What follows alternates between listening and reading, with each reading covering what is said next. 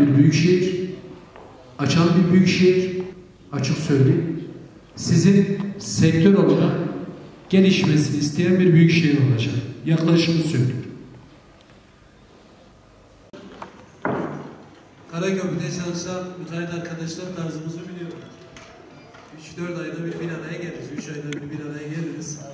Şöyle sektörü bir masaya yatırırız. Yine bir araya geleceğiz, konuşacağız. Birlikte kuvvet doğar. Birçok sorunu birlikte çözdük, birbirimizi anladık. Şehir biraz sıkışmış durumda, bunu görüyorum. Fen İşleri Daire Başkanlığı'yla da biz bu konuda çalışmaları başlatmış durumdayız. Önce yol yapacağız, altyapı yapacağız, şehri rahatlatabilmek için. Şimdi hemen hemen 10 yıldır neredeyse 10 yıl oldu. Bir daha eteği bölgesi imara açılmış ama altyapı ve yol olmadığı için hiçbir gelişme yok. Yine Maşuk bölgesi çalışıyoruz. Çalışma başladı. Geçmişten de başladı. Allah emeği geçenlerden razı olsun. O bölge de aynı şekilde. Bizim yaklaşımımız şöyle. Müteahhitin önünü açalım. Biz müteahhit değiliz. Biz sektöre böyle bakıyoruz. Yatırımcının önünü açalım. Ama ne kadar çok açarsak, ne kadar çok ilçede altyapı ve yol açarsak o kadar sektörün önünü açmış oluruz diye düşünüyorum. Bir bu.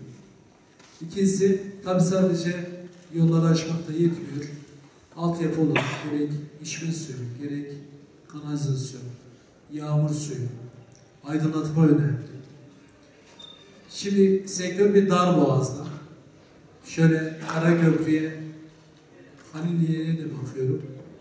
Bir Karşıyaka bölgesi, bir Maşuk bölgesi, Karaköprü, işte Devteşli bölgesi daha farklı zaten bir imarda.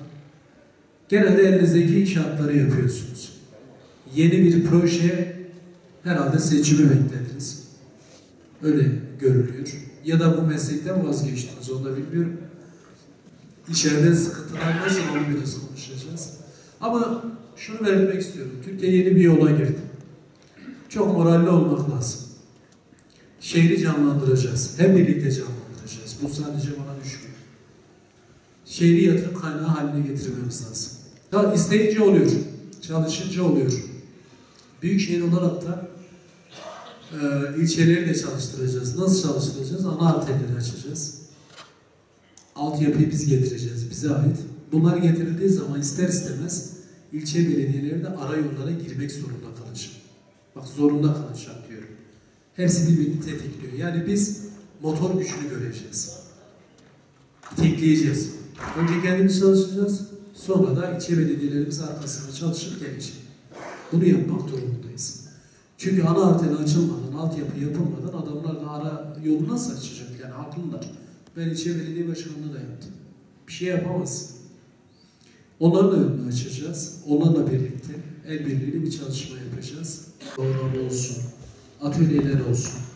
Bunlar için çok planlı bir yer sektörlere vereceğiz. Yani gitsin, güzel bir şekilde kendi sitesini kursun. Ya dedim ki Ankara mesela siteler nasıl gelişmişse, eğer bizim mobilyacılarımız başarılıysa orada geliştirsinler. Atölyeler olsun. Pima pençelerinin aynı şekilde. Bunun artık Urfa Büyükşehir mantığıyla buna geçmesi lazım. Buna yönelik çalışmalarımız oluyor. Şimdi sizin sıkıntılarınız ne? Piyasanın durumu ne? Belediyeden beklentiniz ne? Hem başkanlarımızın sözü verelim. Hem de sizi biraz dinleyelim. Ee, biz şehri bir bütün olarak yönetmeyi düşünüyoruz. Herkesin görüşü bizim için önemli. Muhakkak dikkate alıyoruz. Ee, sizden de moral ve motivasyonunuzun yüksek olmasını ben bitiriyorum. Yatırımdan hiç çekinmeyin ve korkmayın. Urfa'nın geleceğini eğer ben yanıldığımı düşünmem. Gelecekte en fazla büyüyecek şehir olacak. En fazla zenginleşecek şehir olacak. Bir koşul var, onu da söylemeden gitme. Kafa yapımızı değiştir.